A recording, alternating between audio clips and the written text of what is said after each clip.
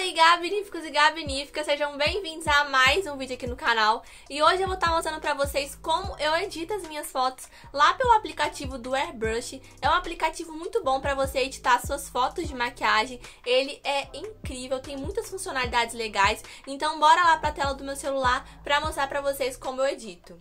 Pessoal, o aplicativo que a gente vai utilizar é esse aqui, o Airbrush. Eu vou abrir aqui, eu já deixei uma foto selecionada aqui para eu editar junto com vocês.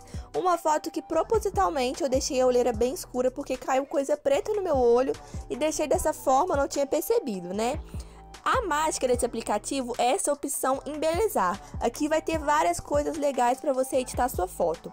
Primeira coisa que eu vou editar aqui vão ser as olheiras. Eu vou dar um zoom aqui, ó, e vou vir passando o lapisinho aqui na olheira dos dois lados. Eu vou passando várias vezes para clarear bastante. Você clicando aqui nesse quadrinho aqui, você vai ver, olha só como é que já deu uma diferença.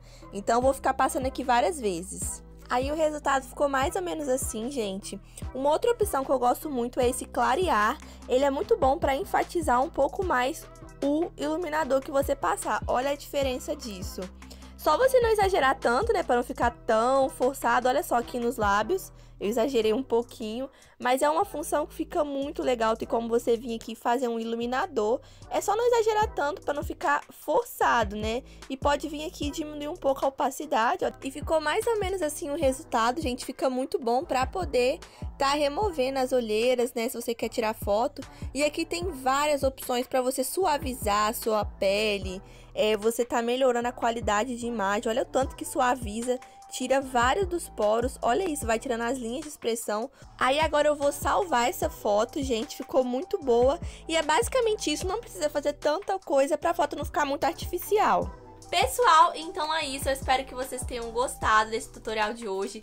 Compartilha bastante esse vídeo. Me segue lá nas redes sociais, tá bom? Nas outras redes sociais. O link vai estar aqui na descrição. Se não é inscrito no canal, se inscreve, dá o like e ativa o sininho para receber notificações de outros vídeos no canal. Até a próxima.